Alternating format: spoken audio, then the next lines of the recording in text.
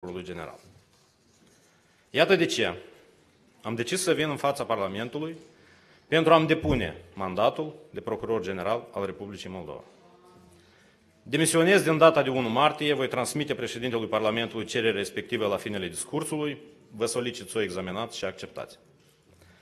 Consider important să începem reforma de la vârful instituției, să dăm semnal că se intră într-o nouă etapă, cu abordări constructive, sincere, fără suspiciuni și acuzații care să deturneze de la scopul real de modernizare. Noul procuror general trebuie să fie selectat de Consiliul Superior al Procurorilor, prin concurs public, la care să participe cei mai buni din domeniu, capabili să-și asume implementarea reformei. Le mulțumesc tuturor colegilor din procuratură, fiecărui procuror și fiecărui angajat în parte.